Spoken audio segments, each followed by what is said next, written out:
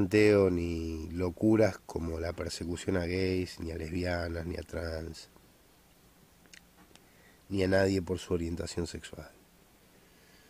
Eh, es una pavada absoluta que intentes instalar eso. Lo que te estoy diciendo verdaderamente es que es muy diferente ejercer un derecho a ejercer la corrupción, es muy diferente ejercer la demagogia a ejercer un posicionamiento político.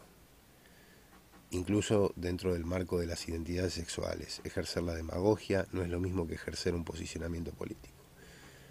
Y lo que te estoy diciendo es que estratégicamente está mal orientado el posicionamiento político de varios movimientos, no solo del feminismo, sino incluso cuando se trata el tema de, del mulato, del afrodescendiente, del indio y un montón de, de etnias y, minorías que no eran minorías y minorías que se las trata de minorías y son mucho más grandes que minorías y demás.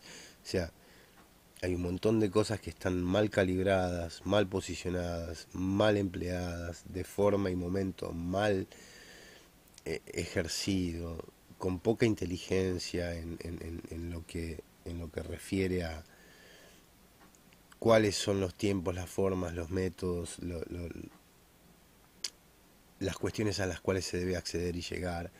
O sea, sos vos quien me está tergiversando con muy mala fe y el solo hecho de hacerlo sabés que beneficia a todos los que desprecian verdaderamente todas esas diferencias.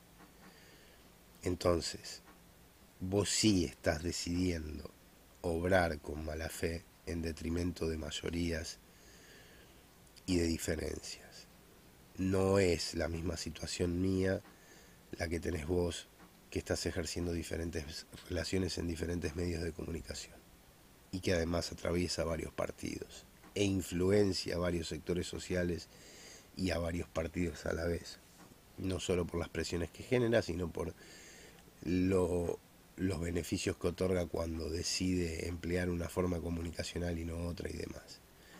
Digo, sé sincera con vos misma, sincerate con vos misma, que tus compañeros se sinceren consigo mismos y tengan una posición más digna, tengan una posición más coherente. El momento es muy delicado de verdad, lo que están haciendo no está resultando bien desde hace muchísimo tiempo, no es de un día, y es porque tampoco lo están haciendo bien. Reconócelo, porque no tiene la culpa el continente entero de que vos te encapriches en joderme a mí. Ni vos ni otras personas que se han encaprichado en joderme a mí. Y hasta ahora lo paga el continente entero. Y dista mucho de ser una exageración mía. Es una realidad muy concreta y muy obvia.